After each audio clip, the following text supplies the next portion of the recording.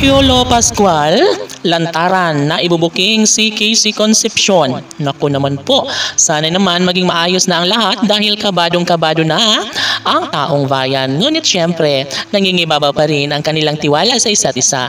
Nangingibabaw pa rin ang isang pag-ibig na talaga nga namang ayaw ni Piolo Pascual na mawala sa kanya ng tuluyan, si Casey Concepcion. Opo, mahal na mahal niyang tunay ang aktres at hindi niya ito hahayaan na basta na lang maagaw sa ibang lalaki. Tama nga naman ang aktor dahil karapatan umano ng aktor na magwagi sa laban na ito. And for sure, si Christina lamang ang kanyang babaeng mamahalin hanggang sa walang hanggan. Iba pa rin kapag tunay na maisakatuparan ang laban na ito sapagkat tanging si Christina ang babaeng pinakaminamahal ni Piolo Pascual na ayaw niyang mawala sa kanyang buhay. Tanging pag-iibigan ni Christina at Papa P ang talagang gustong mangyayari na mat matuloy ang kasal sapagkat nanghihinayang ang taong bayan kung talagang mismong si Piolo Pascual ay hindi magtatagumpay sa kanyang pag-ibig na gusto niyang tahakin.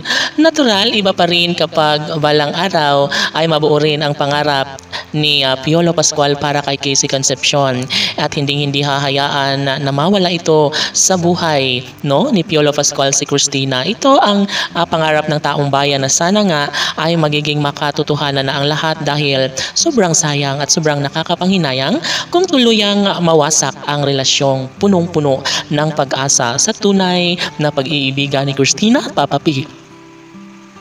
Tanong ng mga netizens, may puruhan nga ba na maging matagumpay si Christina sa kanyang hinahangad na makapiling itong si Piolo Pascual?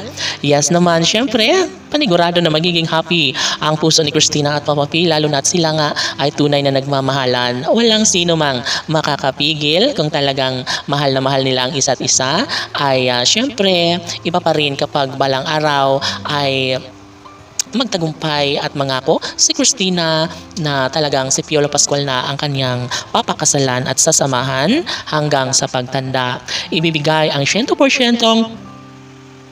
pag-ibig ni Christina para kay Papa P para sumaya naman umano ang buong pagkatao ng kanyang nobyo. Of course, ikatutuwa ito ng kanilang mga taga-subaybay. Mas magiging happy ang lahat, lalo na kapag balang araw ay may isa katuparan ng isang pangarap na talaga nga namang hindi pwede nawasakin ang tunay na pagmamahala nila sa isa't isa.